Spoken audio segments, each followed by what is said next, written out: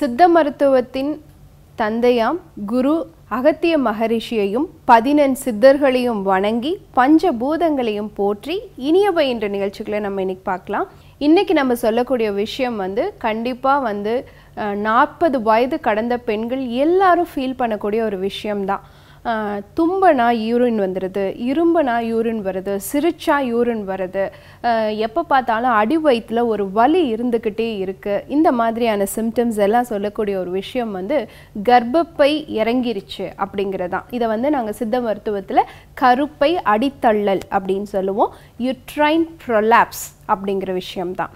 So இந்த uterine ப்ரொலாப்ஸ்னால் என்ன? என்னென்ன சிம்டம்ஸ் இருக்கும் அப்படின்னு சொல்லி பார்த்தீங்கன்னா முதல்ல இது ஏன் உருவாகுது அப்படிங்கிறத நம்ம தெரிஞ்சுக்கணும். இந்த யுட்ரைன் ப்ரொலாப்ஸ் உருவாகிறதுக்கான முக்கியமான ஒரு காரணம் வந்து மலச்சிக்கல். ஆரம்பத்திலிருந்தே சின்ன வயசுலேருந்தே முக்கி முக்கி மோஷன் போகிற ஒரு ஹேபிட் இருந்துச்சுன்னா கண்டிப்பாக கர்ப்பப்பை இறங்குறதுக்கான வாய்ப்புகள் இருக்குது அதே மாதிரி நிறைய பேத்துக்கு இந்த சிசரின் செக்ஷன் அந்த மாதிரி போட்டோ இல்லை ஆயுதம் போட்டு குழந்தைகள் எடுத்திருக்கக்கூடிய விஷயங்கள் நடந்திருந்தாலோ அவங்களுக்கு வந்து பார்த்தீங்கன்னா இந்த கர்ப்பப்பை ஃபோர்செப்ஸ் டெலிவரின்னு சொல்லுவோம். அவங்களுக்கு வந்து சீக்கிரம் இந்த கர்ப்பப்பை வந்து தளர்ந்து இறங்குறதுக்கான வாய்ப்புகள் இருக்குது அடுத்து அடிவயிற்றில் நிறைய கொழுப்பு அக்குமுலேட் ஆனாலும் அந்த கொழுப்புகள் போய் அழுத்துறதுனால கர்ப்பப்பையினுடைய தசைகள் வந்து தளர்வாயிட்டு கர்ப்பப்பை இறங்குறதுக்கான வாய்ப்புகள் இருக்குது அடுத்து நிறைய பேத்துக்கு பார்த்தீங்கன்னா வெயிட் நிறைய தூக்கி செய்கிற ஒர்க்ஸ் இருக்கும். ஸோ மேக்ஸிமம் பார்த்தீங்க அப்படின்னு சொன்னால் ஒரு ஒரு பெண்ணுனால ஒரு பத்து கிலோ அந்த அளவு தான் தூக்க முடியும். சில பெண்கள்லாம் நாற்பது கிலோ ஐம்பது கிலோலாம் தூக்கி வேலை பார்ப்பாங்க. குறிப்பாக பீரியட்ஸ் டைமில் ரொம்ப ஹெவியான ஒர்க்ஸ் பண்ணுவாங்க. அந்த காலத்தில் இருந்தே நம்மளை வந்து ரெஸ்ட் பண்ணிக்கணும். அந்த ஃபைவ் டேஸ் வந்து நம்ம வந்து நல்ல ரெஸ்ட் எடுக்கணும்னு சொன்னதுக்கான காரணமே வந்து நம்ம கர்ப்பப்பையை ஆரோக்கியமாக பாதுகாக்கணுங்கிறதுக்காக தான்.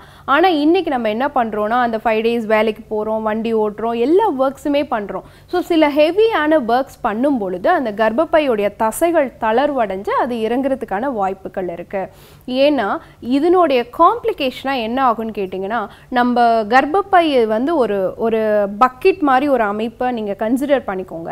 ஒரு பெல்விக் ரீஜன் அப்படின்னு நம்ம சொல்வோம். அந்த பெல்விக் ரீஜனுக்கு அடியில் வந்து ஒரு பெல்விக் ஃப்ளோர் அப்படிங்கிற ஒரு விஷயம் இருக்குது அந்த ஃப்ளோரில் முன்னாடி இருந்த த்ரீடியாக நம்ம இமேஜின் பண்ணோன்னா ஃப்ரண்ட்டில் வந்து யூரின் பை இருக்கும். நடுவில் கர்ப்பப்பை இருக்கும். பின்னாடி வந்து மோஷன் பை இருக்கும். ஸோ கர்ப்பப்பை இறங்கும் பொழுது அதை தொடர்ந்து யூரின் பையும் மோஷன் பையும் இறங்குறதுக்கான வாய்ப்புகள் இருக்குது ஸோ இதை வந்து நம்ம இதனோட காம்ப்ளிகேஷனாக கன்சிடர் பண்ணுறோம் கர்ப்பப்பை இறங்குறத வந்து நம்மளால் மருந்துகள் இல்லாமல் சிசரின் பண்ணாமல் இதை சரி பண்ண முடியுமா அப்படின்னு கேட்டிங்கன்னா நிச்சயமாக நம்மளால் சரி பண்ண முடியும். எப்படி சொல்கிறேன்னு கேட்டிங்கன்னா ஃபர்ஸ்ட் டிகிரிங்கிறது வந்து கர்ப்பப்பை வந்து நம்மளுடைய கருப்பையோடைய வாய்க்கு மட்டும் அந்த சர்விக்ஸ் வந்து அந்த ஏரியாவில் மட்டும் இறங்கி இருக்கும் அடுத்து வந்து பார்த்திங்கன்னா செகண்ட் ஸ்டேஜில் வந்து லைட் லைட்டாக நம்ம கைக்கு வந்து தட்டுப்படும் அதுக்கப்புறம் அது உள்ளே போயிடும். மூணாவது ஸ்டேஜில் வந்து நம்ம முக்கும் பொழுது கொஞ்சம் பாதி கர்ப்பப்பை சர்விக்ஸ் எல்லாம் கொஞ்சம் வெளியே வர மாதிரி இருக்கும். திரும்பவும் நம்ம எழுந்திருக்கும் பொழுது அது உள்ளே போயிடும்.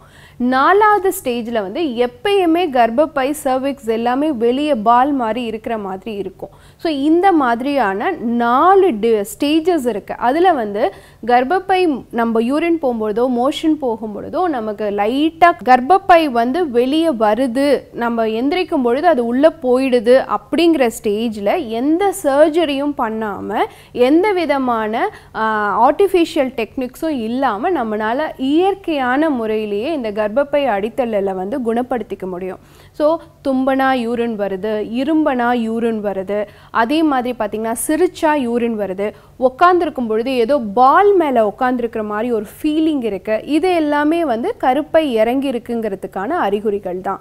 ஸோ நான் சொன்ன மாதிரி அந்த பெல்விக் ஃப்ளோர் மசில்ஸை நம்ம வந்து நல்லா ஸ்ட்ரைட் பண்ணணும். அதை வந்து நல்லா ஸ்ட்ரென்தன் பண்ணணும்.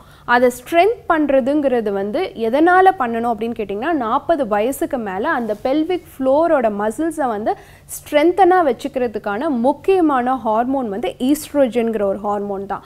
நம்ம மெனப்பாஸ் ஏஜை நெருங்க நெருங்க நம்ம ரத்தத்தில் அந்த ஈஸ்ட்ரோஜனுடைய அளவு வந்து குறைய ஆரம்பிச்சிரும். அப்போ ஆட்டோமேட்டிக்காக என்ன ஆகுதுன்னா அந்த பெல்விக் ஃப்ளோர் மசில்ஸ் வந்து தளர்வாயிட்டு கர்ப்பப்பையும் இறங்கி கூடவே யூரின் பையும் மோஷன் பையும் இறங்க ஆரம்பிச்சிடுது அப்போது இந்த ஈஸ்ட்ரோஜன் குறைபாடை நம்ம சரி பண்ணி இந்த பெல்விக் ஃப்ளோர் மசில்ஸை வந்து ஸ்ட்ரென்தன் பண்ணி டைட் பண்ணுறதுக்கான எக்ஸசைஸை நம்ம பண்ணிட்டோம்னு சொன்னால் நிச்சயமாக இந்த கர்ப்பப்பை இறங்கி இருக்கிற விஷயத்தை நம்மளால் சரி பண்ணிக்க முடியும்.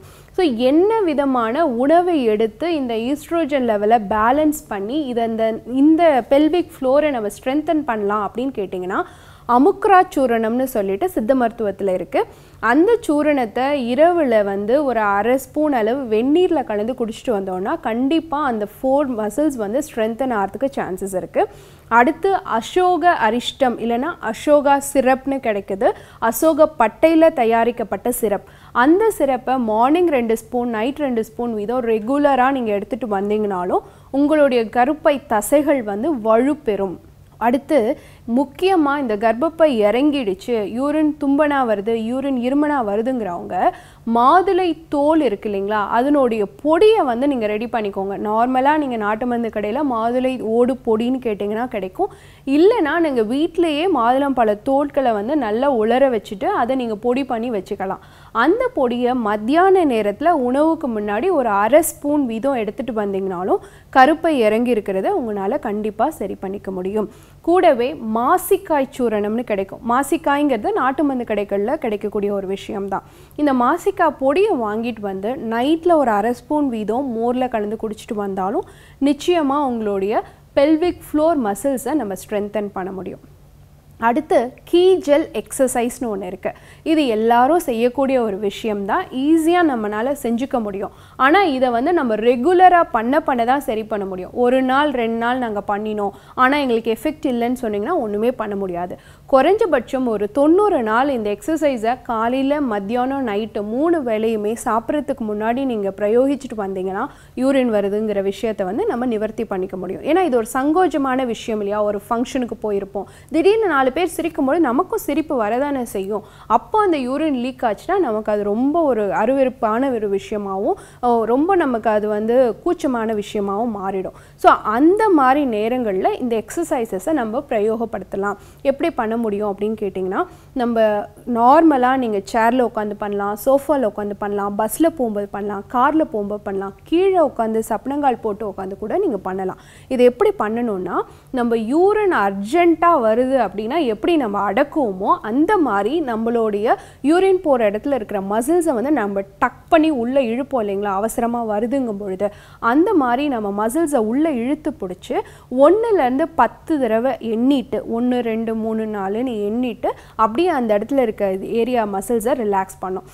அப்படி இழுத்து ஒன்றுலேருந்து பத்து எண்ணிட்டு திரும்ப மெதுவாக ரிலாக்ஸ் பண்ணுங்கள் இந்த மாதிரி காலையில் பத்து கவுண்ட் மத்தியானம் பத்து கவுண்ட் நைட் பத்து கவுண்ட் மூணு வேலையும் சாப்பிட்றதுக்கு முன்னாடி பண்ணுங்கள் கூடவே நம்ம மாதுளை ஓடு பொடி மாசிக்காய் சூரணம் அசோக அரிஷ்டம் மாதிரியாக இருக்கக்கூடிய மருந்துகளை சித்த மருத்துவருடைய பரிந்துரையின் பேரில் எடுத்துகிட்டு வந்தீங்கன்னா நிச்சயமாக கர்ப்பப்பை அடித்தள்ளல்ங்கிறத நம்ம சர்ஜரி இல்லாமல் சரி பண்ண முடியும்.